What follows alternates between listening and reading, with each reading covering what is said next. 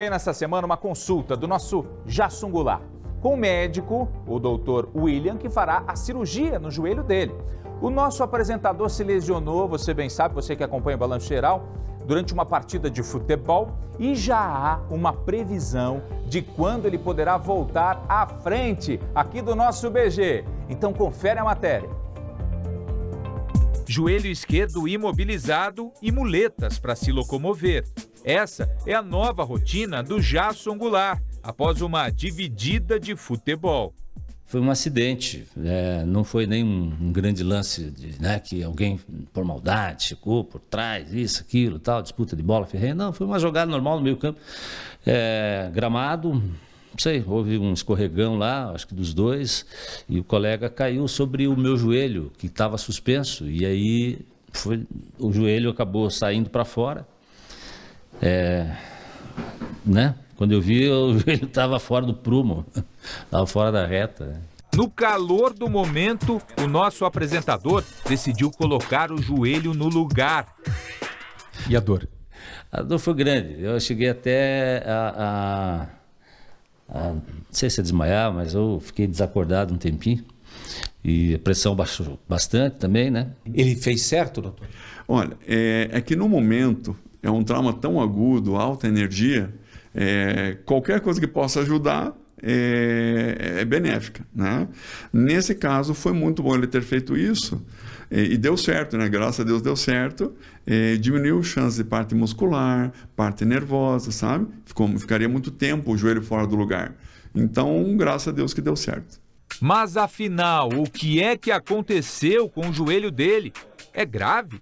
E a gente submeteu ele à ressonância magnética e constatamos lesões de quatro ligamentos. Nós temos cinco principais ligamentos no joelho. Né? Então tem o patelo-femoral medial, o colateral medial, tem os dois cruzados, que é o, anterior e o posterior lá dentro, e tem também o colateral lateral. O único que o Jason não machucou foi o colateral lateral. Como é que foi é, digerir essa notícia assim no primeiro momento?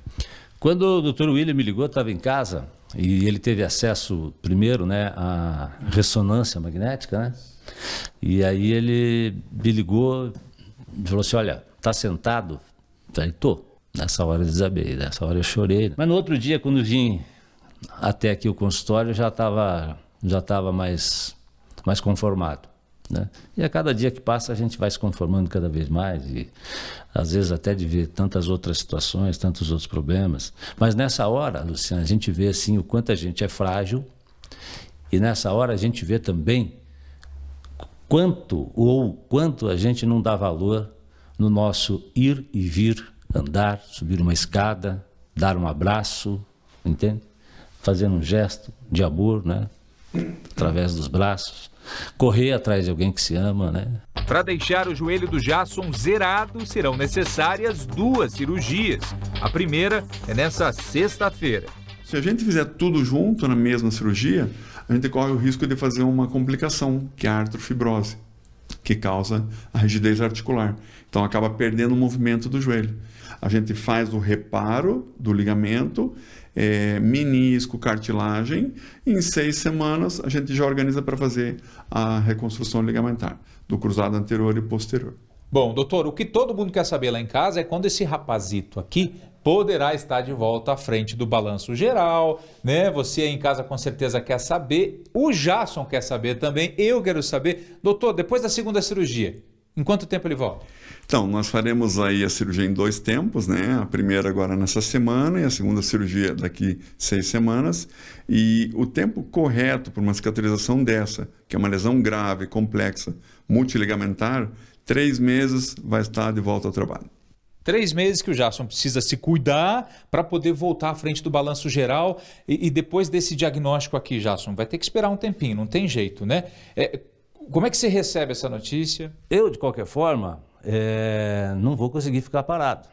Né? Eu preciso trabalhar. Eu gosto de trabalhar. Isso me motiva, isso me dá vida, me dá né, motivação para viver. Então a gente está estudando um jeito aí né, de, de eu poder participar com você, Luciano, que, né, que brilhantemente está tocando lá o programa, junto com a doutora Márcia, com toda a nossa equipe. Não vou abandonar o público, seja pelas redes sociais, né? Sempre que puder, participando com vocês lá, mas lá por novembro, se Deus quiser, a gente está de volta. Três meses, portanto, mas você pode ter certeza, a gente já adianta, o Jason já adiantou aqui, você vai ver Jason Goulart sim no balanço geral, bem antes do que isso, bem antes do que isso, vai estar comigo, com a doutora Márcia e com você. É, eu falei que era bem antes e é bem antes mesmo. Vamos dividir a tela aqui, porque ele está com a gente já nesta terça-feira, lá de casa, se recupera dessa lesão. Agora você em casa que tinha ainda curiosidade, alguma dúvida, o que é que aconteceu com o Jasson? Ficou bem explicado. O Jasson que pratica né, esse futebol com os amigos, com esse mesmo grupo há muito tempo. E aí, numa dividida, que não foi uma jogada violenta não, mas infelizmente o colega caiu em cima do joelho, fez uma espécie de alavanca, causou esse rompimento, né, rompimento dos ligamentos do joelho por isso serão necessárias duas cirurgias. Mas o Jason Goulart está bem e, é claro, e está em ótimas mãos, né, Jason? Por isso esse otimismo todo, logo, logo, você vai estar tá não aí de casa, mas estará de volta aqui ao estúdio do BG. Tem aqui dois agradecimentos para fazer já de imediato, viu? Primeiro ao Dr. William, que está dedicando né, toda a atenção aí a esse meu problema no joelho. Vamos para a cirurgia na sexta-feira. E agradecer também a direção da RIC TV, o nosso IAB, a nossa Ivete, né, a nossa engenharia que já teve aqui em casa, é, é, enfim, a produção, né, para me ajudar, inclusive, a colaborar com o nosso balanço geral de todos os dias aqui de casa. já estou com uma estrutura aqui quase pronta, viu, doutora Márcia? Daqui uns dias eu vou estar tá dando pitaco junto com vocês aqui. Fazer a cirurgia na sexta-feira, aí depois tem uns diazinhos aí de, de recuperação. E aí tô aqui, ó. Inclusive no meu Instagram, daqui a pouco o João vai mostrar como é que a gente está instalado aqui. Mas o fato é que nós já, já estamos com condições de participar instantaneamente, em tempo real, com o balanço geral aqui da minha casa. O que me dá muita alegria, porque é aquilo que eu falei na reportagem. Eu acho que o trabalho vai me ajudar muito nessa recuperação. Gente, eu estou, inclusive, contando a hora. Estava vendo a matéria aqui do Rudinei, né, lá com o Batuta, na cidade industrial. Fiquei, já me deu a vontade de jogar bola. Gente do Calma, céu, olha aquele campinho, segura. campinho de areia. campinho de areia, molhadinho também é bom, é bom também. Agora, quem sabe, quem sabe eu não possa no final do ano já dar o pontapé inicial para o jogo que vai ter lá no Batuta, né? Já fico feliz da vida. Com certeza, com certeza vai estar recuperado até lá. A gente conta com isso, a medicina está aí para te ajudar, né? O doutor William, super experiente, inclusive, Jason, já atendeu muita gente aqui da RIC TV, né? Que se tratou com ele. Ele que é especialista em joelho. Então, se tem uma coisa que o doutor William conhece, é de joelho. Então, com certeza, ele vai deixar o teu novinho para você poder ficar de pé aqui de novo, né? Comigo com a doutora Márcia e, e também poder voltar a jogar bola, por que não? Você está ansioso para jogar bola também, que eu sei, né, Jason? Você joga quantos anos futebol, meu amigo?